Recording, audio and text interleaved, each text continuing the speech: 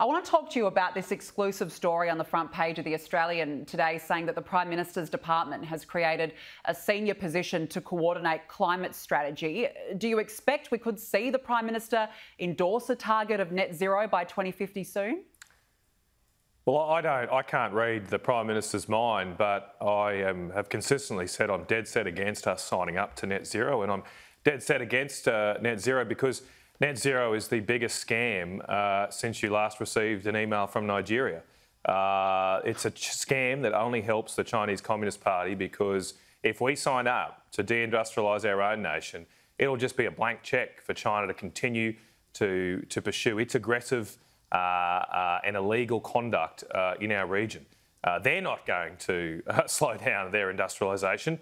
We know that. We know that because last year China said that they would sign up to net zero emissions by 2060. And in the same year, they installed 38.4 gigawatts of new coal fired power stations. That's double the amount of coal fired power stations in this country. So you should always look at what people do, not what they say. And I don't think we should, as a Western world, put on massive, big Chinese red handcuffs on our industry, on our jobs, and then give a free ride uh, to the country that is threatening the, the security and democracy of our region. Uh, so there's no way we should sign up to this agenda because we just cannot trust China to do the same.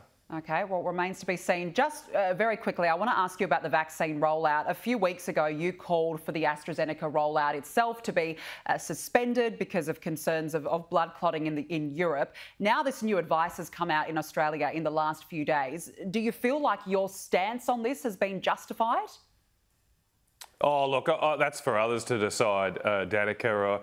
Uh, I, I, don't pretend to have any special knowledge in this area. All I felt was that was the, the cautious approach, given other respected health authorities were taking drastic action. Uh, I, I, do uh, thank a lot of the medical experts that contacted me after I made that call, and my views were reaffirmed by, by their concerns, as we've seen.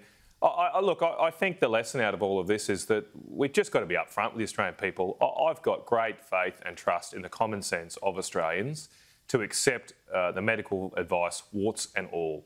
Uh, everybody understands that there are risks with medical treatments. Every time you go and get a major medical treatment, you're usually told you could die. You know, you could die if you get this anaesthetic.